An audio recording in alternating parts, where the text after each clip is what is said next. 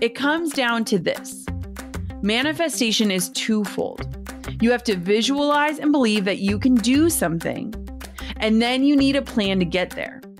Hey, my name is Jenna Kutcher, and I am obsessed with all things business, marketing, numbers, and helping you to navigate both the messy and the magical seasons of this thing called life. I'm a small town mama who took a $300 camera, grew a successful photo biz, and now I work from home and run a seven figure online business. I teach you the tried and true secrets to building a career you adore. Shy away from the real talk?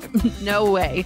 Money, hardship, growth, loss, and marketing are all topics we discuss here. Think of this as your one stop shop for happy hour with a gal pal mixed with business school. Pull up a seat, make sure you're cozy, and get ready to be challenged and encouraged while you learn. This is the Goal Digger Podcast. If you want to be somewhere, something, or someone, but the process of getting there looks a thousand miles long, just get as close as you can. Want to start a fashion label?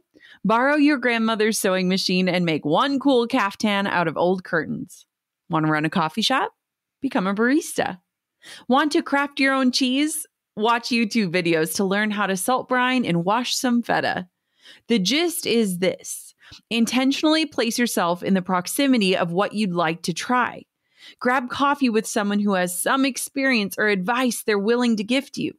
Search for a little extra time in the margins of your existing responsibilities and moonlight in your next adventure. Open up a savings account that you drip small amounts into whenever you can. Over time, these collective actions, stating the passion, simplifying the plan, and starting the process are what lead to massive change in the direction of your dreams.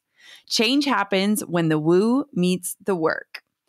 This is an excerpt from my book, How Are You Really? And I am so excited about this topic on the show today because I truly believe that for so long, especially female entrepreneurs have been operating out of two camps the manifestors and the hustlers. And I believe that the real harmony exists when the woo of manifesting meets the work. And I'm going to explain how we can peacefully do this in our lives and in our businesses. So without further ado, let's dive on in.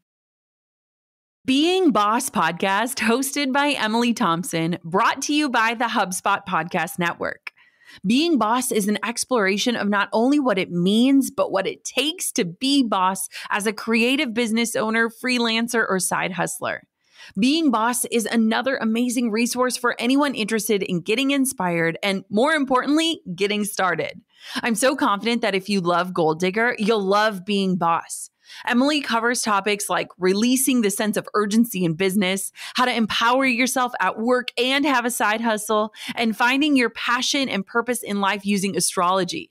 Listen to Being Boss wherever you get your podcasts. Okay, real talk.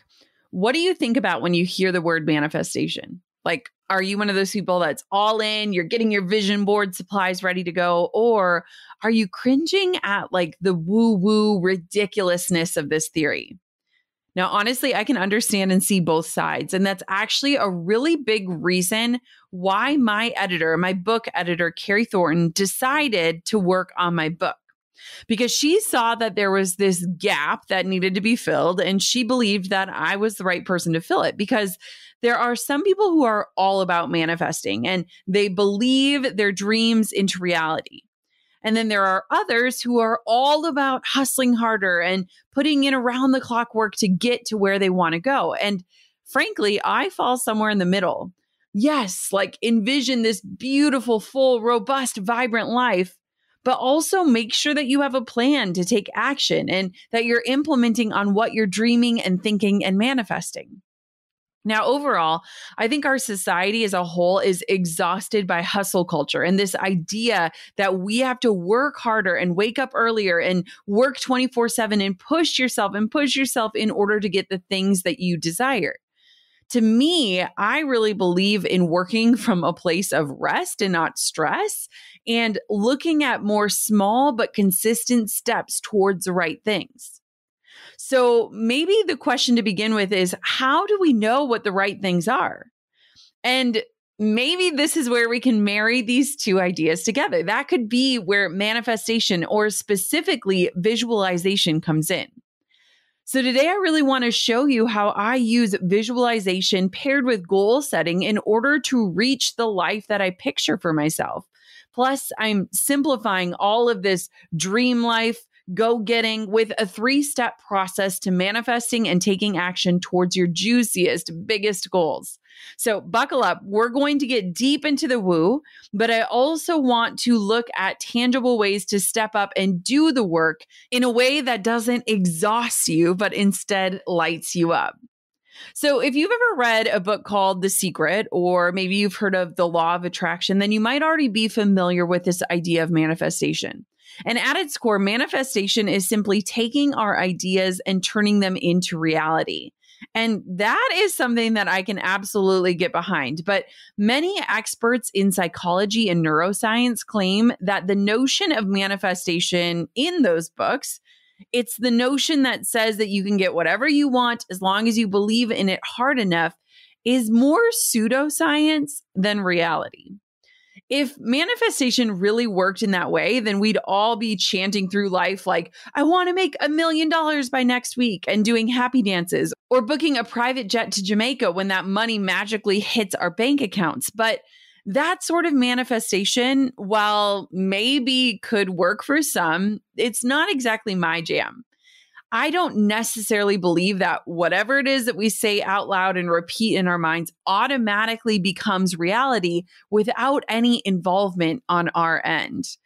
I've been talking a lot with my toddler, Coco, about how we are teammates. Like we need to work together if we are trying to get to bed at the end of the night, or if we have this goal that we're going to go on a date and it's going to be this lovely experience.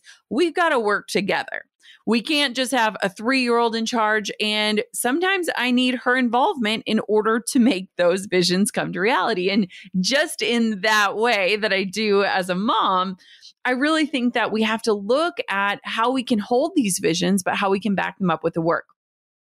I wanted to kind of bring up something that I've been thinking about when I think about manifesting. Have you ever been on the market for something new in your life, whether you have to buy a new roof for your house or you're buying a new car, or maybe you are thinking about or entertaining the thought of becoming a mother.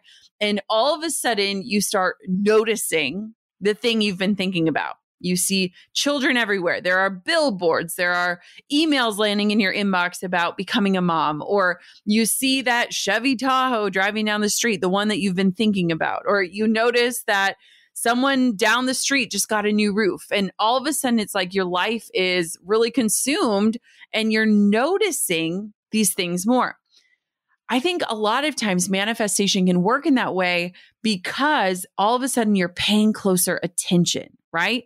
You have this idea, you have this vision, and now you are actively seeking it out or trying to notice it in your life. And whoa, it feels like the universe is bringing you these hints or these clues or these signs.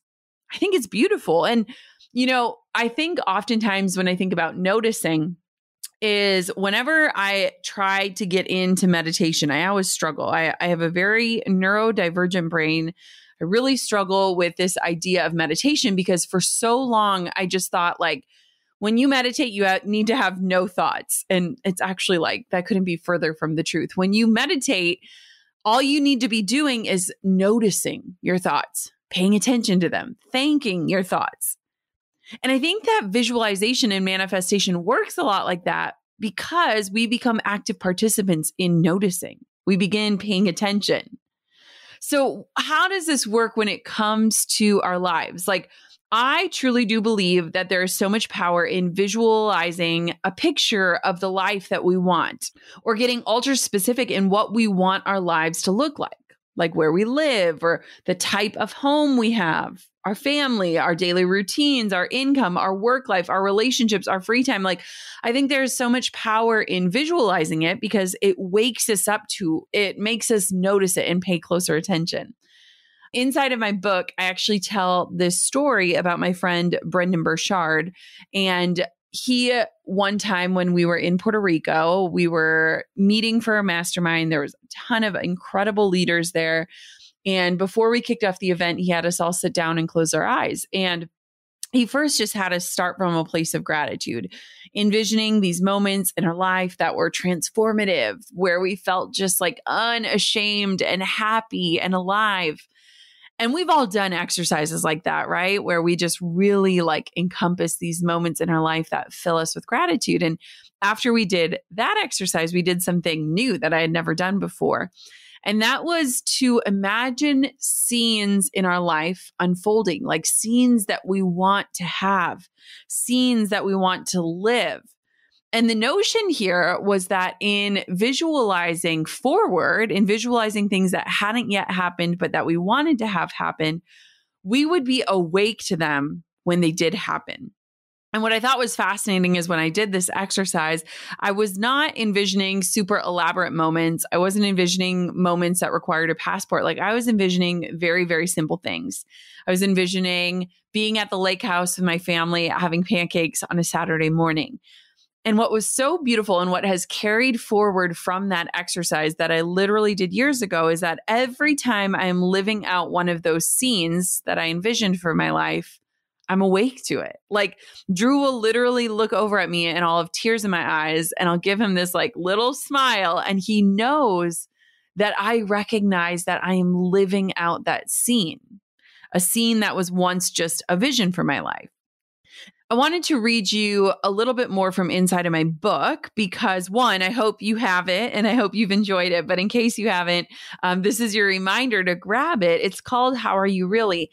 And I wanted to read this section because in preparing for today's episode, I thought that this summed it up so well. So it says, I get it.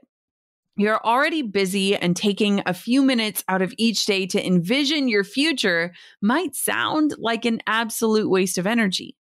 Maybe you've rolled your eyes at every vision throughout this book, every bit of woo woo that's been accompanied by the work. Maybe you find yourself pushing back on the very idea. Aren't you a grown up now? Who has the time?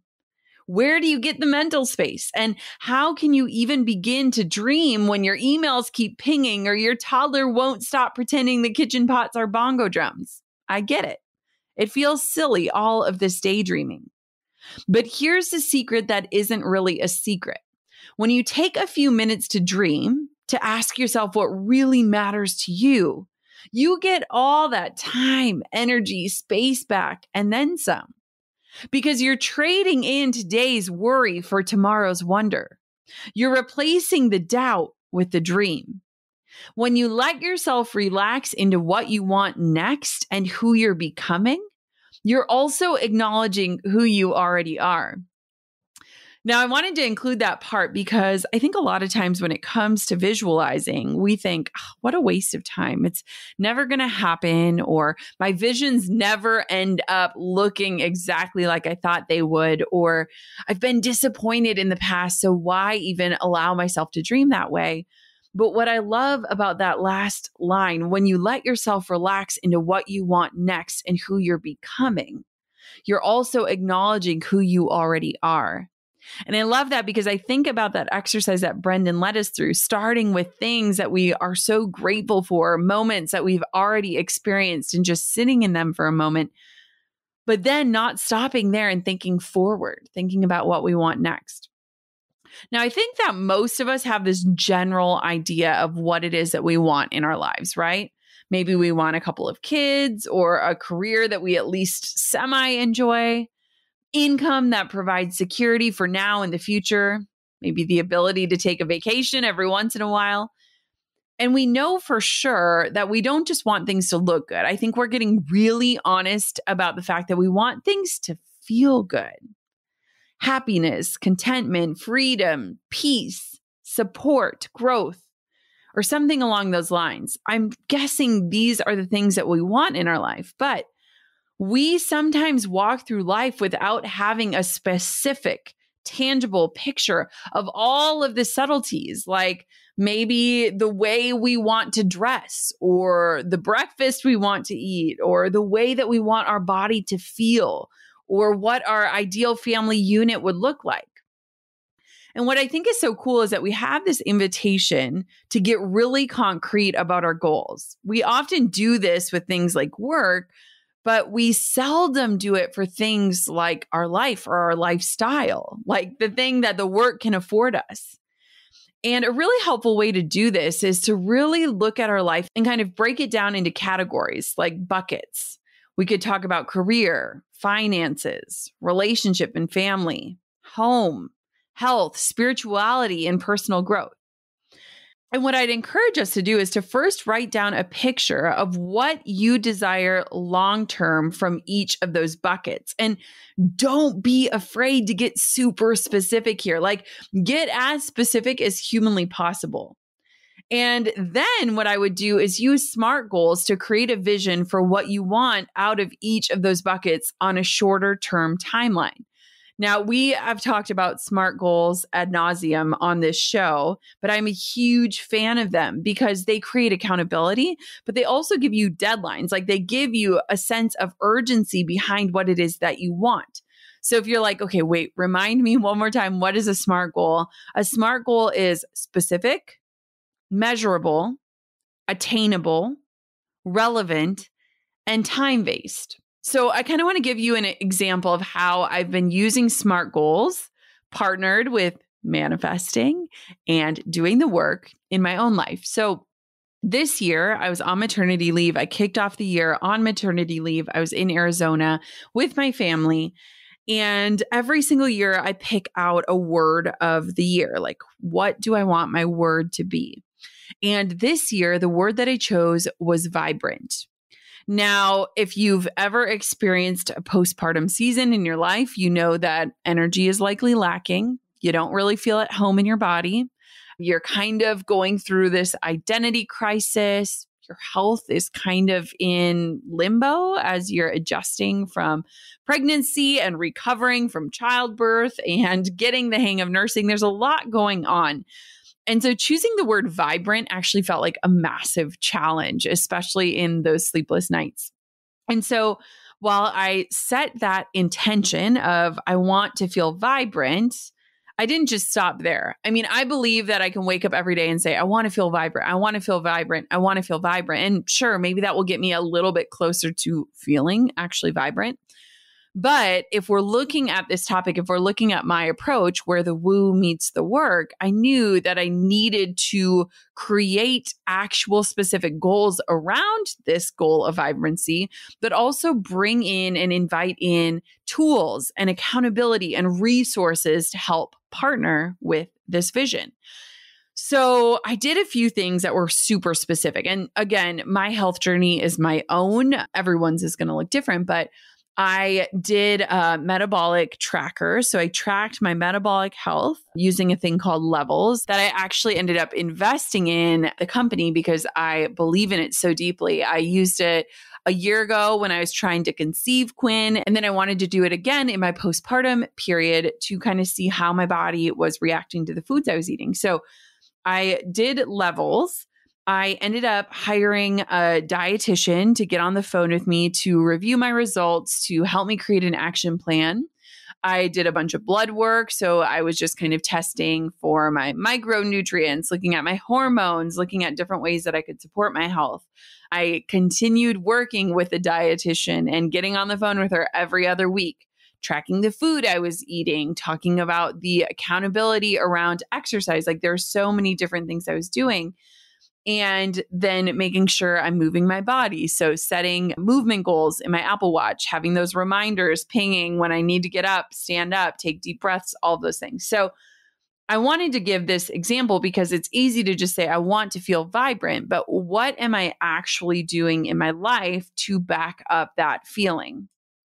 I have a really awesome episode on the science behind manifestation with neuroscientist and MD Dr. Tara Swart, where she talks about how you can't just visualize. You have to actually take steps and create an action plan toward your goal. She explained that visualization actually primes the brain to think in more aspirational ways and even expands the possibility for what we are able to accomplish by simply allowing our minds to go there and consider new levels of what's possible. And she talks about how it's up to us to determine the necessary actions that will keep our vision from remaining a mere fantasy. And that instead allows us to bring it into reality. So that's back in episode 425. It's such an eye opening conversation about manifestation and visualization and the neuroscience of creating the life you want if you want more out of your life. And she actually walks listeners through this amazing exercise at the end of the episode for visualizing what you want out of your life. And trust me when I say it is so transformative. So if anything, go listen to that episode. You can actually find it really easily by going to jennakutcherblog.com slash Tara. And again, listen to that episode and she will absolutely back up what I'm talking about today and explain it probably better than I ever could. Doing good isn't only good for those around us, it's also good for business. We've seen it time and time again. Companies with solid mission statements grow stronger with their customers, employee retention, and their bottom line. Whatever your mission is, HubSpot is on a mission to help your business grow better with a CRM platform that grows with you. HubSpot's easy to use website builder helps you create, manage, and update your business's unique online presence so you can get your mission out to the world quickly and easily. Plus, with seamless plugins that help you track customer activity, you'll know what's clicking and who's not, all from your HubSpot dashboard. Get started and get going for good with HubSpot. Learn how your business can grow better at HubSpot.com. Everything can shift in five days. Are you down to shift with me? Email lists are the key to growing your business online. And if you've listened to even one episode of this podcast, you probably already know this. Getting started though, well, it's awkward and a little scary. And I was there not too long ago. But now I get to pop into a quarter million inboxes every single week because I decided to simply start at zero. Are you starting at zero or maybe restarting an email list that's been collecting virtual dust? Well, I've got a challenge for you. My absolutely free 0 to 250 email list challenge. It's just 5 days with me. All the strategies that you need to get you from 0 to 250 subscribers on your email list. There's tutorials, it's a mini course and you can join today at listbuildchallenge.com. You could reach 250 inboxes and more. You've just got to start. Start your five days of the 0 to 250 challenge at listbuildchallenge.com. So, for me, at the beginning of this year, I created a Pinterest board with all the things that I was hoping for in 2022. And this is a practice I've done every year. I just make a secret board. I go through and I kind of find different images on Pinterest that represent what I want my year to not just look like, but to feel like. So, pictures of family, what I hope my work life looks like from the promotion of my book all the way to my health. And I also wanted to make sure that while I was setting these goals or creating these visions, that I had action plans that were very aligned with them so that I was taking steps to make them happen. So if I have all these visions of like being an epic mom, what are the boundaries required in my work to ensure that I can have those sort of memories with my children? What does that look like? Does it look like no work on the weekends, having a cutoff time every night, mapping out specific time where I'm taking time off in the summer?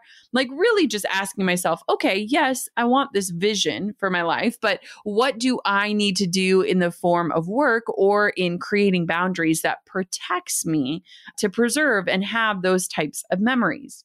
And I think one of the most important things that you can do is evaluate if the woo that you're chasing, if those visions that you're chasing are the right visions for you. Like, is the vision that you are going after, does it actually fit your life? Like, is it the right time for you? Is it the right season? Is it aligned with what you say you want? Like, does it make sense in how you define success for your life? Or is it something that you think you should be doing or achieving or going after based on an outside opinion or society telling you that this is what you should want? I think it's really important when we talk about manifestation that we are looking at is this my own vision of happiness? Will this make me happy? Because I don't know about you, but I've had visions for my life and I've arrived, like I've achieved that thing. And I've gotten there and I've been like, oh, this doesn't feel like I thought it would, or this doesn't feel good, or this wasn't the right thing for me. I remember the first time that I achieved a six figure income. I literally remember the day that I saw my QuickBooks tell me, you did it. And I remember showering in the shower, washing my hair with Herbal Essence shampoo, and thinking, I thought that like the angels would sing like those old commercials. Like nothing about my life felt different. In fact, I felt exhausted. I was burnt out. And so I just want to make sure that when we talk about visions that we're being really honest with like is this my definition of success? Will this actually feel fulfilling? Will it make me happy? I recently took a course called Time Genius by Marie Forleo. I took it during my maternity leave. I have revisited it often. And I remember that she tells a story about a guy who makes his coffee every day and he does a French press. And so it takes him about five minutes. And he had this vision of exercising more, moving his body more. And so he was like, every single day while my brew stews in my French press, I'm going to fit in five minutes of exercise it was such a tiny way for him to prioritize his health and take baby steps towards this bigger goal while he's already doing something that's a part of his daily routine. Like for me, even when I say I want to feel vibrant, part of that was that I needed to take certain supplements every day. I have thankfully been a person that has never had to be on prescription medication. And so I have always been someone that struggles with consistently taking vitamins or supplements.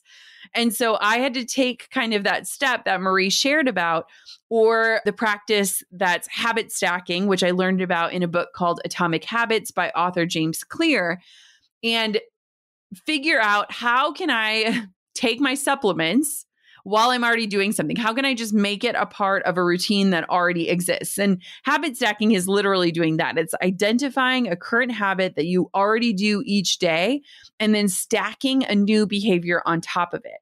And so for me, I actually took an old ice cube tray and put out my daily supplements. So I spent like 20 minutes putting enough supplements in, and it was like two weeks worth. And I set that ice cube tray on top of the microwave, which is right next to my Nespresso. So every morning when I make my coffee, I see my supplements right there. I take my supplements, I drink my coffee.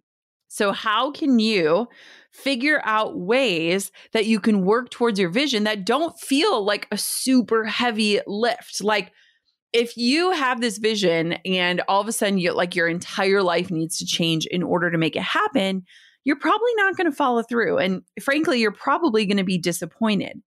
And so, what is a way that you can take that beautiful vision, that manifestation that you have for your life, and say, you know, I have five or 10 or 15 minutes that I can devote to it? Maybe it's an hour once a week or even every other week.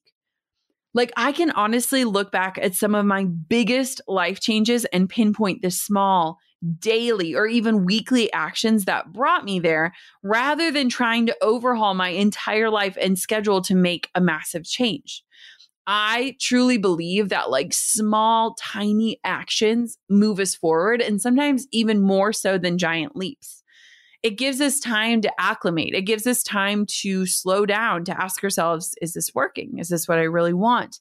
It makes it way more sustainable, but it also helps us build the belief in ourselves. Because I don't know about you, but I've been so ashamed of myself in the past for not being able to follow through on something that I said I wanted.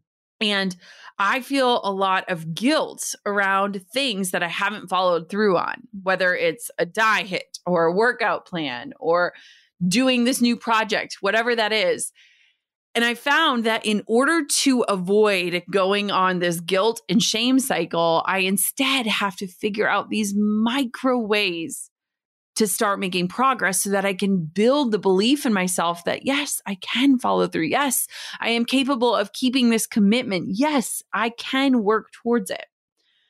So, before we wrap this one up, I want to walk through three of the principles of both manifesting and taking action towards your vision of your highest self or the life of your dreams. Are you ready? So, one, get clear on what it is that you want. Think about those buckets, like those categories of your life that we mentioned earlier. Create a clear vision on what you want each of those to look and not just look like, but feel like and by when.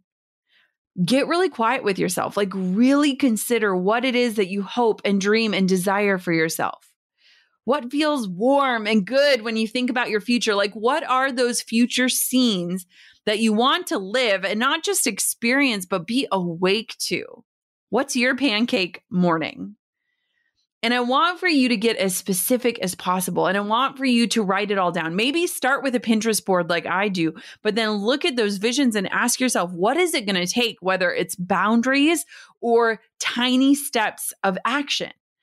And get really clear and specific. Number two, create a micro step action plan. Now, I think the part about both manifestation and goal setting that trips people up is the path of getting there, like the actual roadmap to achieving what it is you want.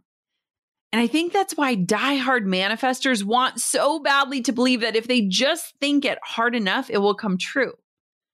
And of course, there is a small bit of truth to that. Like researchers have found that people who are happy and more optimistic generally do attract more opportunities and have better relationships and seem to achieve their goals or manifestations with more ease. Meaning that if you tend to lean toward believing that you'll reach your goals rather than believing that you won't, you actually do have better chances of getting there. And that mindset makes it easier to want to take action towards your dreams too. It comes down to this manifestation is twofold. You have to visualize and believe that you can do something, and then you need a plan to get there. My two cents is that your plan doesn't need to be intricate or complicated. It just has to be consistent, small steps toward your goal that can that you can feasibly stick to until you get there. So maybe it's an ice cube tray with your supplements next to your coffee maker. Maybe it's doing squats while your tea steeps.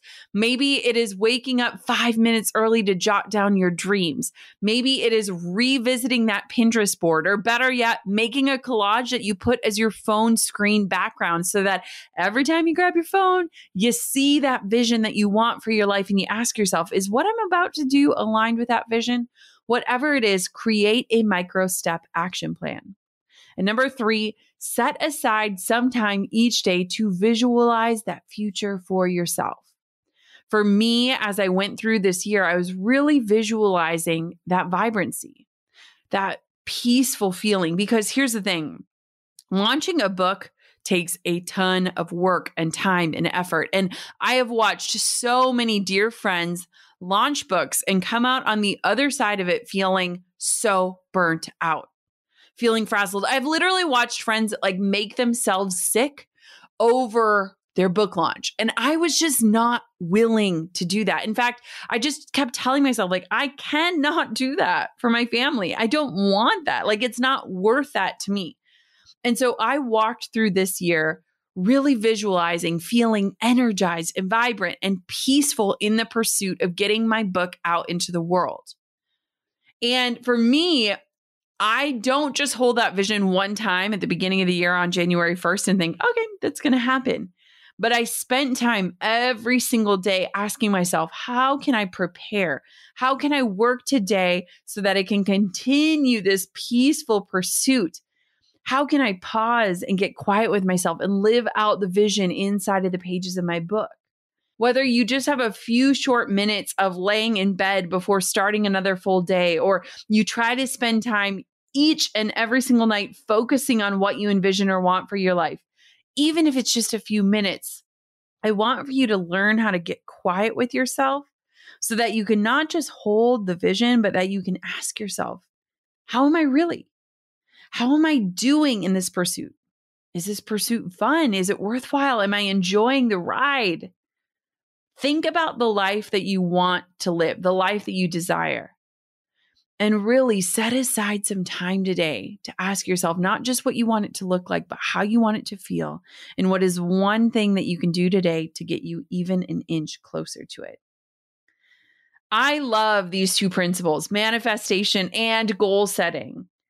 And I don't think that we have to be in one camp or the other. I think there is a beautiful marriage to be had, a beautiful way to make them teammates in pursuit of the lives that we want to live it's allowing ourselves to dream and visualizing and getting super specific, but it's also letting you be in the driver's seat to help get yourself there.